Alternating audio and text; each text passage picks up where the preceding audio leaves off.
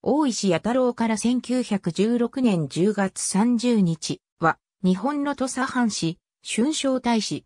弥太郎は、通称で、意味川はじめ元隆、後、窓かと改めた。以下は、15位。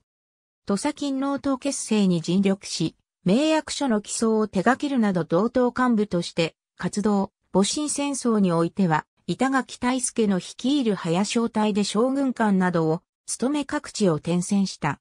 明治維新後は新政府に出資するがほどなく、実施以降は高知政界における国勤農党派の中心人物として影響力を有した。同じく勤労党員で、吉田東洋暗殺の実行犯の大石団蔵は、いとこにあたる。大石弥太郎旧宅と鎖国上郡の市村横井に生まれる。高知出身で、家は裕福であった。文部に優れ、国学を鴨地正純に、剣術を江戸の鏡市に明智流、桃井春倉の私学館で学んだ。万延元年末に判明により、大阪人休めとなり、翌文久元年には、洋楽修行の命を受け再び江戸に遊学する。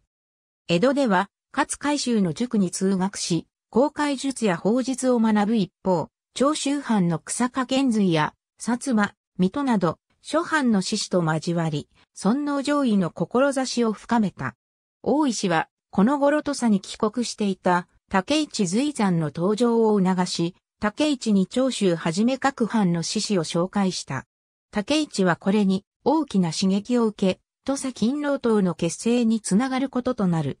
文久元年8月、竹市と共に、土佐藩の同志の団結を図るべく、江戸遊学中の同志と共に、土佐勤労党を結成した。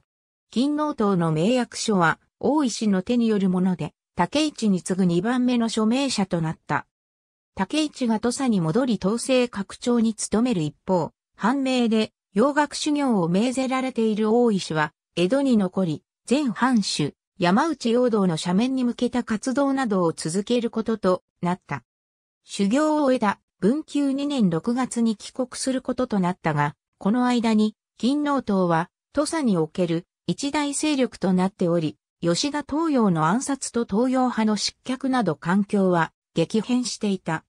帰国の途上、京都において坂本龍馬と会い、藩主、山内豊藩の入教時の土佐藩兵の宿舎について相談している。ついで姫路において、参勤途中の藩主一行に会い、随行していた竹市と共に、藩幹部らに対して国事終戦の検索を行った後、一行と別れて郷里に帰った。同年10月、藩より中国、九州諸藩の情報収集を命じられ、長州藩など各藩を訪問した。その後長崎に派遣され、この間に新式重船長を独断で購入している。文久3年の8月18日の政変の勃発時には京都出張中であり、報告のため急遽帰国している。政変を機に、尊老上位藩が退庁し、土佐藩においても、竹市はじめ主要な勤労党員が軒並み、投獄される中、常に判明により行動していた大石は、投獄を免れた。大石は同志と共に藩長に対し竹市の斜面を嘆願し、自身を代表者とする憲白書を提出するが、受け入れられることはなかった。一方、実力行使を主張して、野根山に遁収した清岡道之助らは、藩兵によって捕獲され斬首、竹市も、慶応元年うるう5月に切腹を命ぜられた。慶応年間に入り、時世の切迫とともに、土佐藩においても、軍備改革と人材登用が図られるようになり、勤労党の指導者であった大石も藩の要職に就くこととなった。慶応3年2月、藩の軍備役に任じられ、上司の故障組に編入されるという破格の抜擢を受けた。大石は板垣大輔を助け、従来の階級的意識を除いた平成の改革に尽力する。8月に英国公使パークスがイカルス号事件の談判のため須崎沖に到着した際には板垣らと共に現場で警備に当たった。慶応4年1月に戊辰戦争が始まると四国各藩の偵察を行ったほか、高松で米付け役に丸亀において大砲頭に任じられた。同月下旬には上京して、板垣大助総督の率いる早小隊に加わり、東山道を進軍した。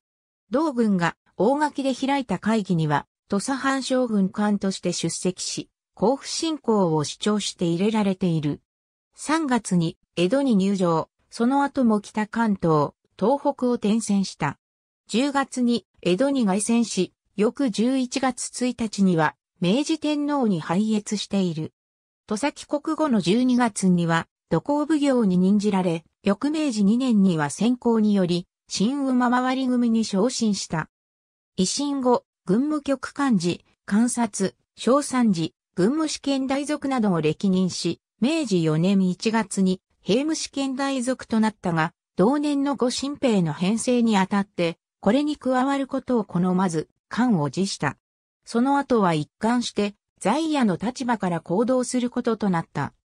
明治6年の明治6年政変以後、高知においても、不平士族らによる政治活動が盛んとなるが、大石は、合思想を中心に、金納党の流れを組む、古金納党派の中心人物として活動した。大石は、萩の乱を起こした前原一世と親交があったほか、立志者とも挙兵の協議を行っており、西南戦争など一連の士族反乱に呼応する動きがあるとして政府より警戒されていた。